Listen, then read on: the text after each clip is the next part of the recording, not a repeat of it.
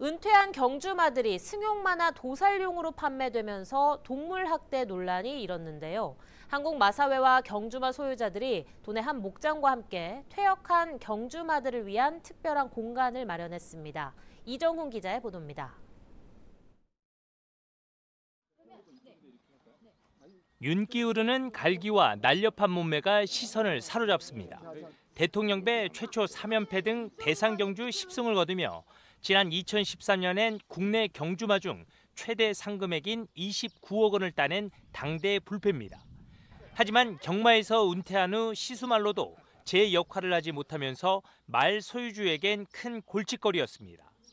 다행히 명예 경주마로 선정돼 휴양 목장으로 보금자리를 옮길 수 있게 됐습니다. 한국마사회와 도내 한 목장이 퇴역 경주마들의 복지 증진을 위해 손을 잡았습니다. 매년 나이가 들거나 사고 등으로 은퇴하는 경주마는 약 900여 마리. 이 가운데 혈통이나 성적 등이 뛰어난 명마를 선정하게 됩니다. 이곳에선 이처럼 경주에서 뛰다 퇴역한 명마 10마리까지 맡겨져 남은 여생을 보내게 됩니다. 마음껏 뛰놀 수 있는 넓은 초지에 한가롭게 휴식을 즐길 수 있는 전용 잔디마당도 갖췄습니다.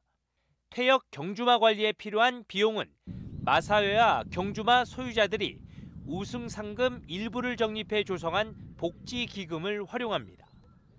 관광 명소인 이곳 성 이시돌 목장에서 다시 보고 싶은 명마를 국민에게 어, 선보이는 명예 경주마 휴양 사업 등 말복지 증진을 위한 어, 공동 노력을 어, 더욱 강화시켜갈 어, 그런 계획입니다. 명예 경주마를 이용해 관광객 유치에도 도움을 줄 전망입니다. 과거 경주말 시절 활약상을 담은 영상과 명마를 소개하는 안내판 등을 설치하고 제주를 찾는 관광객과 도민들에게 개방할 예정입니다. 윤리적으로 이거 아주 좋은 사업이고 경제적으로도 한쪽에서 도와줄 것입니다. 외국에서 여기 도서장 가는 날 비디오 보면서 사람들은 한국 사람 이미지, 마스 이미지 많이 다운됐을 겁니다. 그래서 이제 아 그거 아니다. 이런 사업하면서 우리 얼마까지 신경 쓰는지 보여주시고 제주는 전국에서 뛰는 경주마의 80% 이상을 생산합니다. 사실상 경주말들의 고향이기도 한 제주에 폐역 경주말들의 보금자리가 마련되면서 말의 고장인 제주가 동물 복지 인식을 제고하는 데에도 큰 역할을 할 것으로 보입니다.